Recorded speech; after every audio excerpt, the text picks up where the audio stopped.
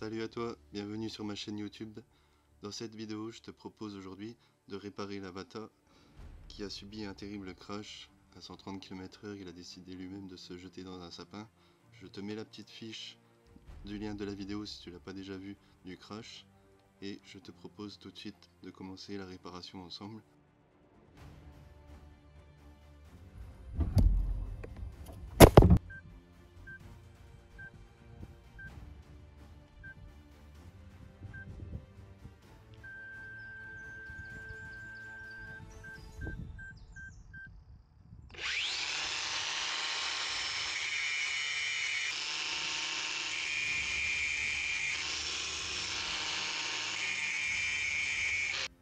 Je te cache pas que l'idée de le mettre à la poubelle m'a traversé l'esprit, mais ça fait chier quand même.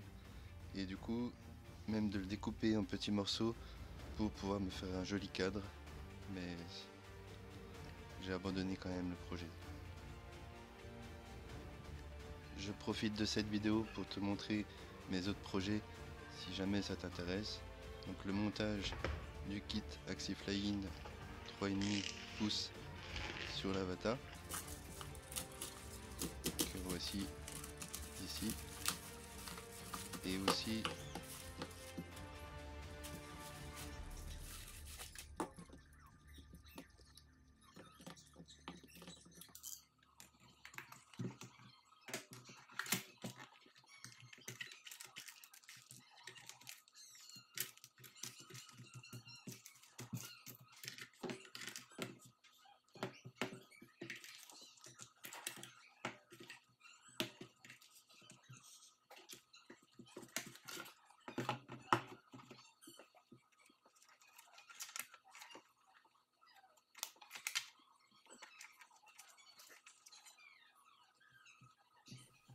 et aussi une autre vidéo pour le remplacement du câble de la caméra DJI Avatar qui est ici cassé d'un précédent accident.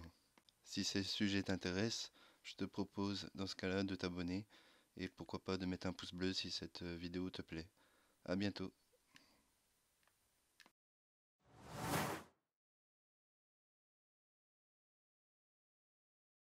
commence déjà par tout démonter entièrement le, drone pour y voir plus clair.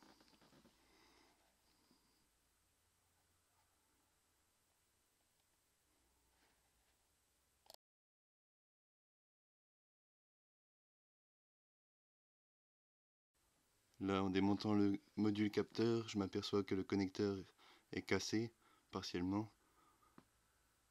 Je ne sais pas si tu pourras le voir à la caméra, car ça reste euh, très petit. Et celui-ci, je n'ai pas réussi à le trouver sur internet pour faire son remplacement. Une hélice aussi est cassée.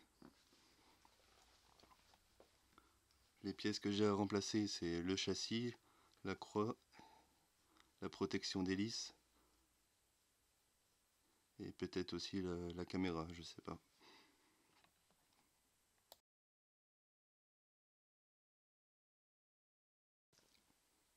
Donc on démonte les hélices. On démonte ensuite les antennes gauche et droite qui sont cachées dans la protection d'hélice.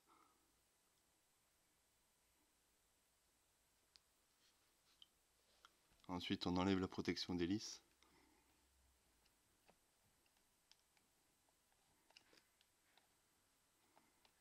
Celle-ci elle est cassée donc je vais devoir la remplacer par une neuve.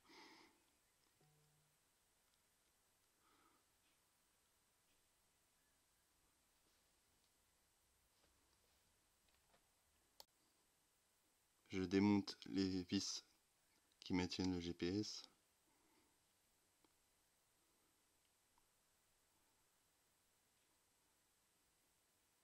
Là, on démonte les moteurs. Bon, j'ai accéléré un petit peu pour éviter que la vidéo dure trop longtemps.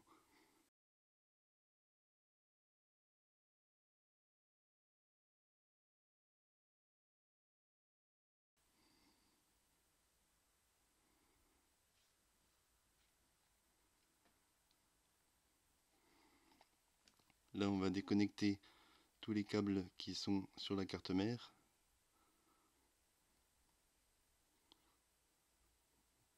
Donc le câble de la caméra, le câble du GPS,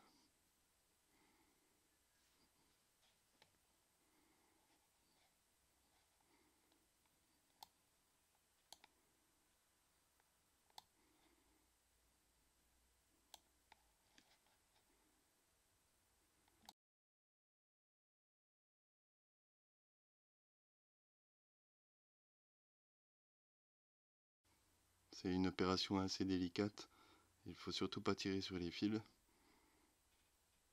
mais plutôt d'éclipser les. Si ces sujets t'intéressent, je te propose de t'abonner. Et si cette vidéo te plaît, j'espère que tu mettras un pouce bleu, ce serait sympa. Donc euh, la réparation m'a pris 2 heures de temps et le montage de la vidéo environ 4 heures.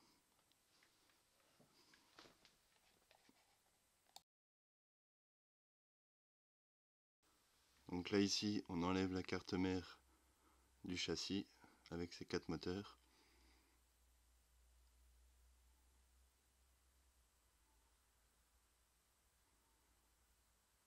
Maintenant, on va enlever le GPS et la partie euh, qui tient la batterie.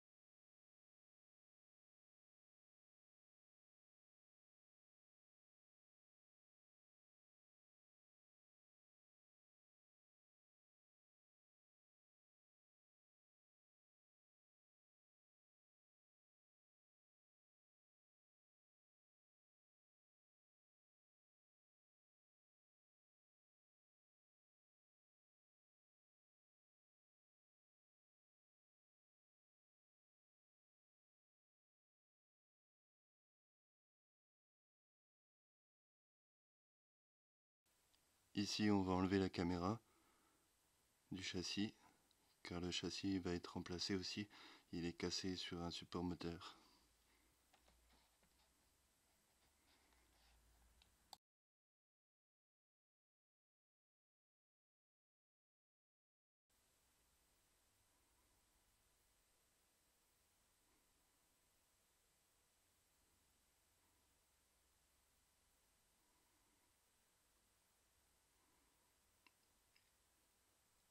Donc tu vois, elle est cassée juste ici en fait.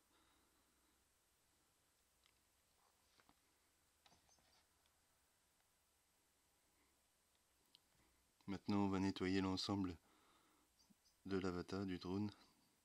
Toutes les pièces une par une. Donc j'utilise pour ça de l'alcool à 90 ou alors de l'isopropanol liquide. J'ai accéléré ce moment-là volontairement car c'est plutôt répétitif. Je te mets une musique à la place.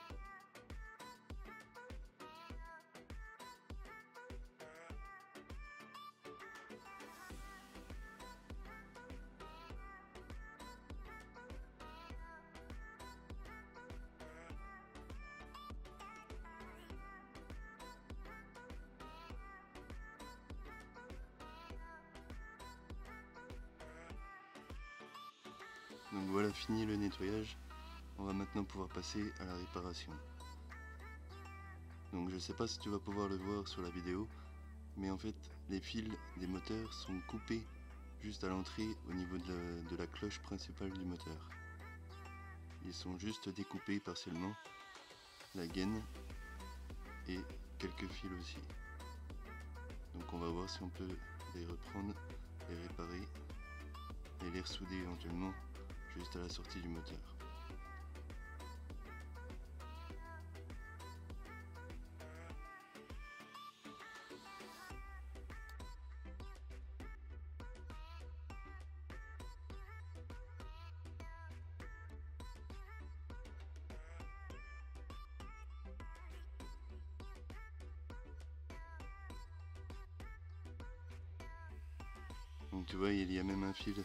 Du moteur. Donc on va d'abord dessouder le moteur de la carte mère pour pouvoir retravailler facilement les câbles qui sortent du moteur.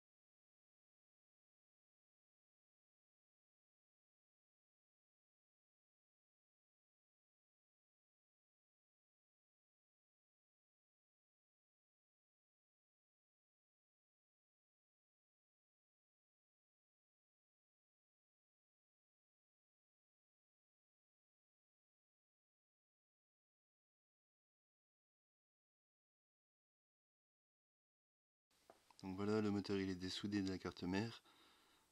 On va pouvoir remettre les fils correctement et ressouder à la sortie du moteur et remettre de la gaine isolante.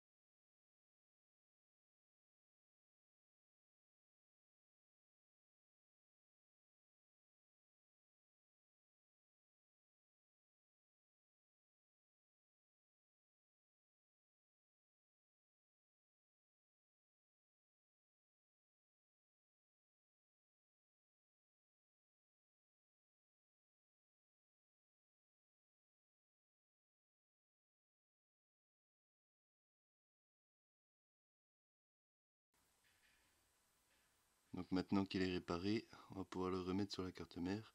Je finis de mettre la gaine isolante thermorétractable.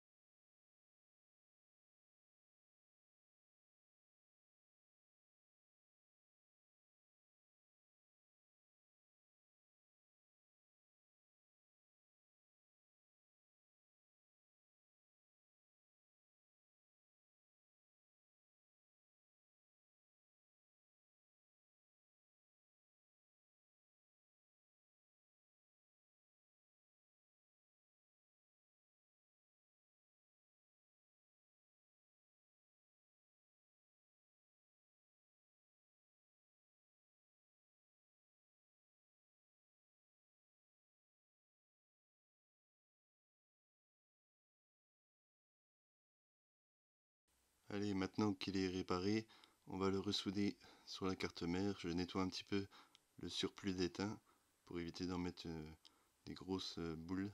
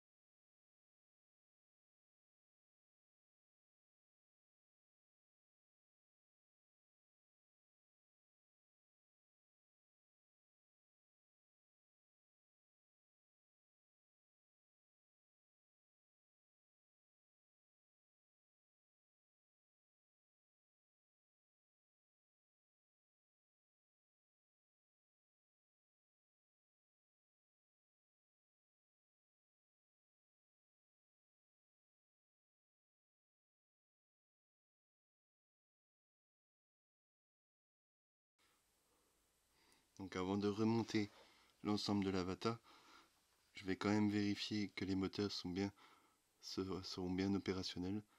Pour cela, j'utilise un multimètre. Je le calibre en continuité au mètre.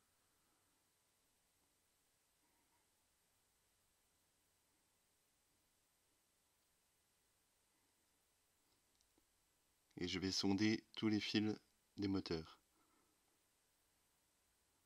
m'assurer qu'ils soient opérationnels quand j'aurai fini le remontage. En espérant que le problème ESC vient uniquement des fils coupés et non pas de l'ESC lui-même.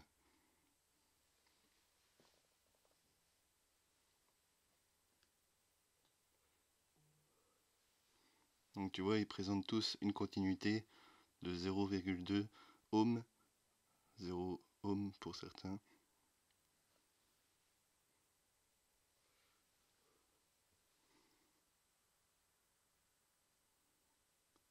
Maintenant, je vais remettre l'isolant sur les, sur les soudures des moteurs pour éviter les courts-circuits ou les faux contacts avec la carcasse, la capsule en alu.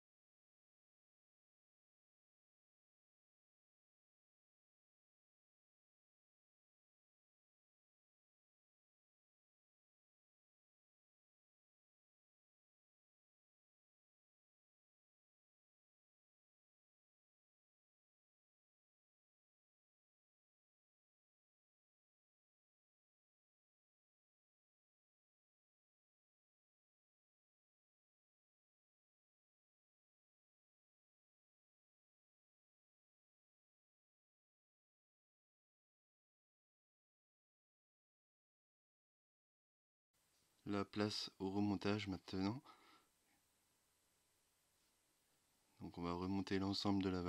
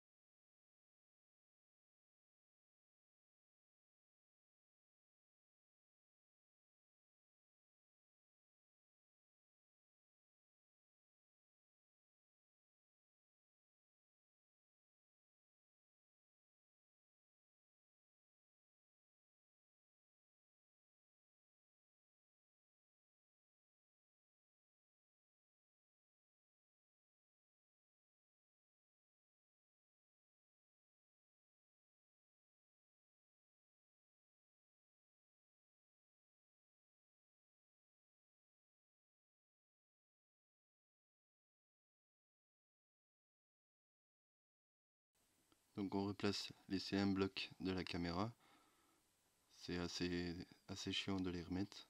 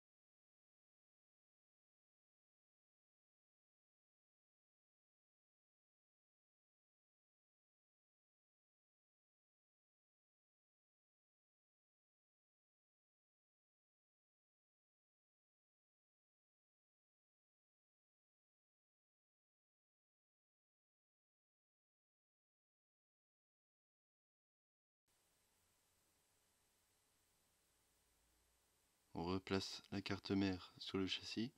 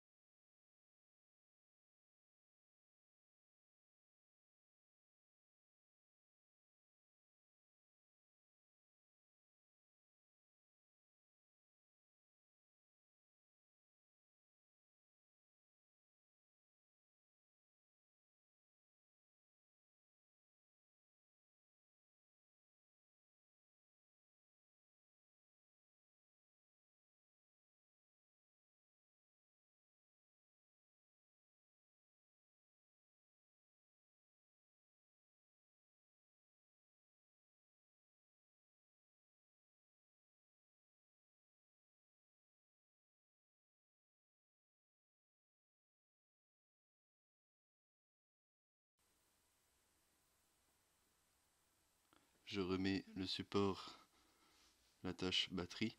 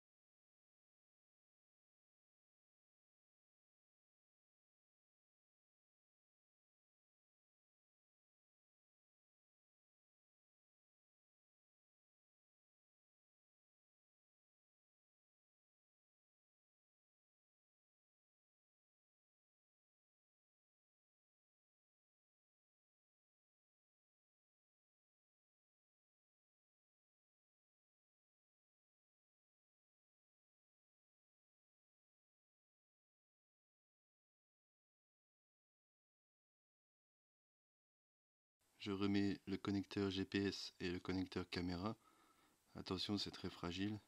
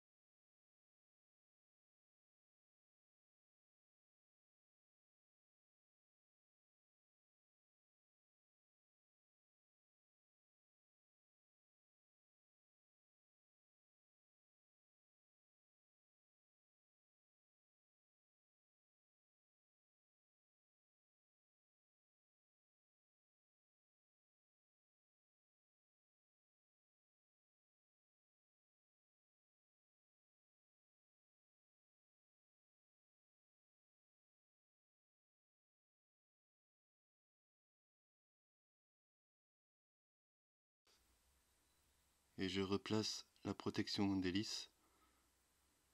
On passe d'abord dans le trou les antennes.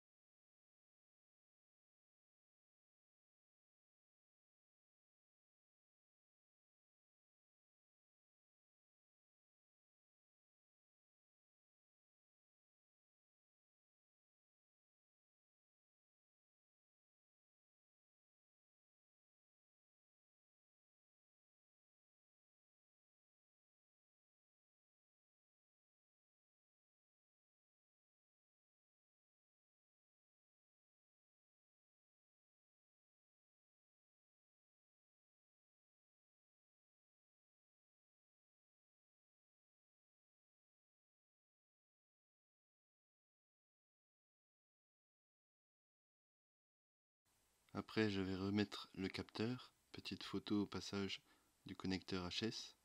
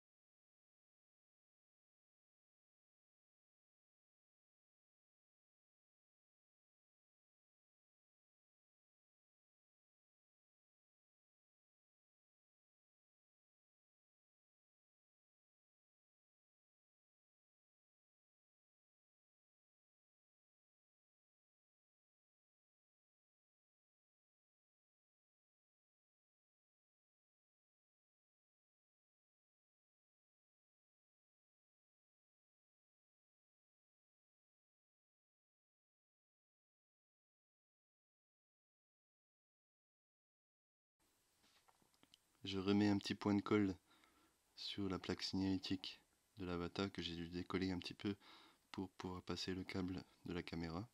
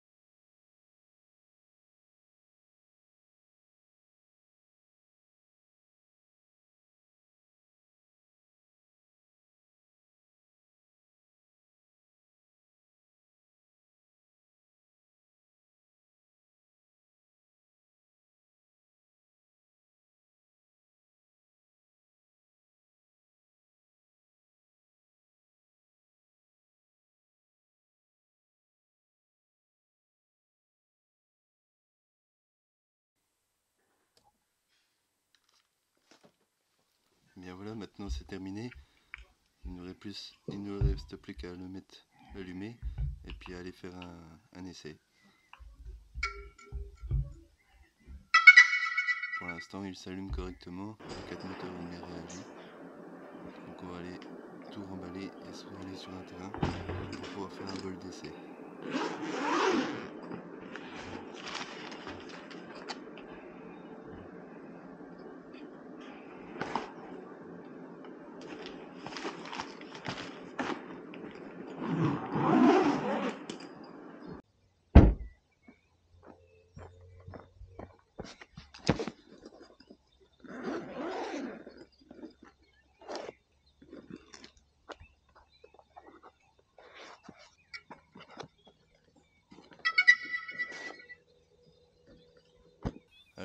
Maintenant au verdict final de cette vidéo.